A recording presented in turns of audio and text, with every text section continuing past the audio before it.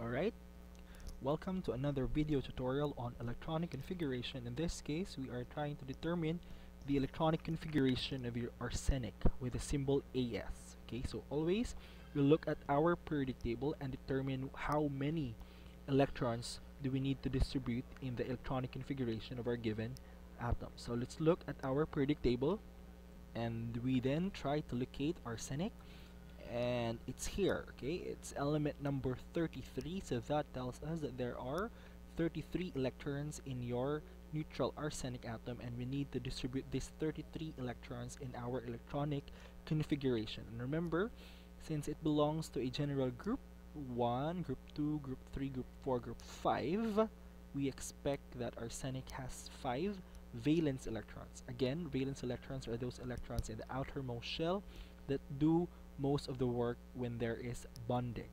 Alright so let's write down the total number of electrons.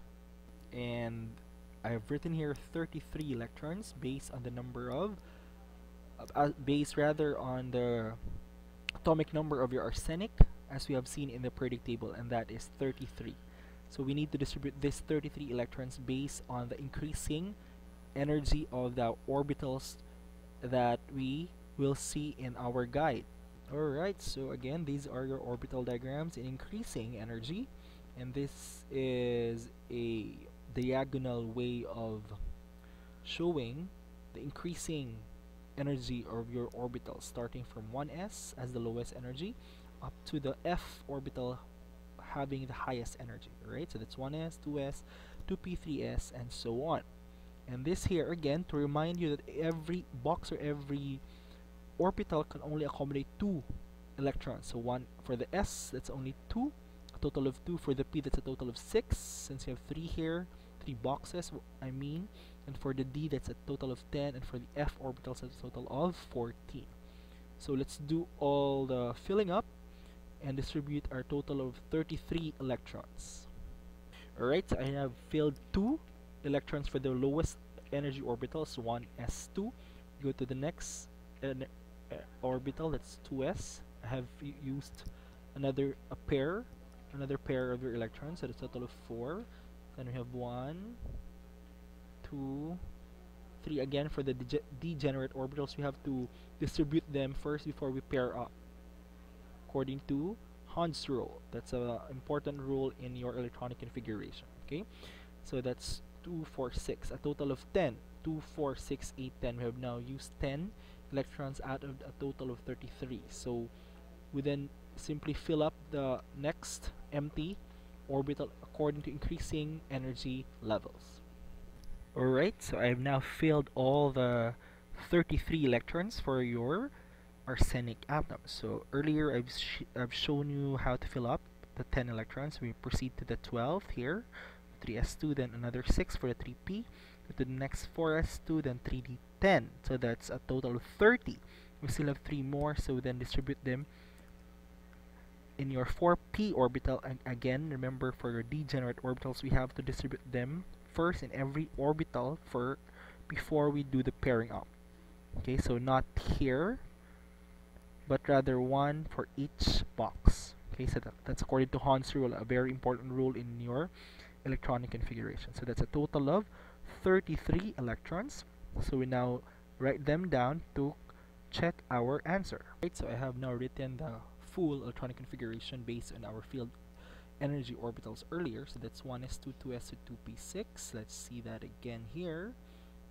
1s2, 2s2, 2p6 and followed by 3s2, 3p6, 4s2. Alright, that's 3s2, 3p4, so and lastly 3d10 and 4p3.